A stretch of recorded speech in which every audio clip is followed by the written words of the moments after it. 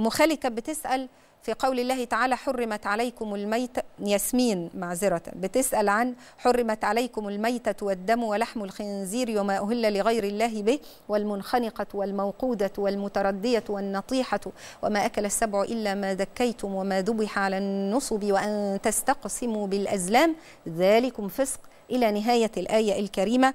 فهي بتسأل عن معنى كلمة المنخنقة.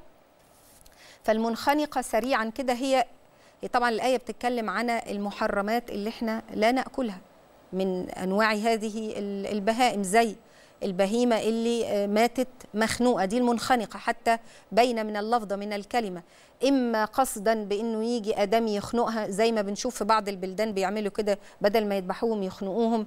وإما أنه حد بيعرضها لهذا الأمر إنها أو يخليها في موقف فتنخنق فيه يعني بصورة مباشرة أو غير مباشرة فإحنا مش هينفع ناكل المنخنقة لحم هذه المنخنقة أو الموقوده اللي هي ضربت حتى ماتت أو التي بتضرب بأي شيء تقيل مش محدد بقى اتضربت بخشبة اتضربت بحجر لغاية ما تموت دي برضو مش هينفع ناكل اللحم بتاعها أو المتردية اللي حضرتك سألتي عليها برضو اللي هي تردت يعني اللي هي وقعت أو سقطت من أعلى إلى أسفل فتموت من هذا التردي أو الوقوع.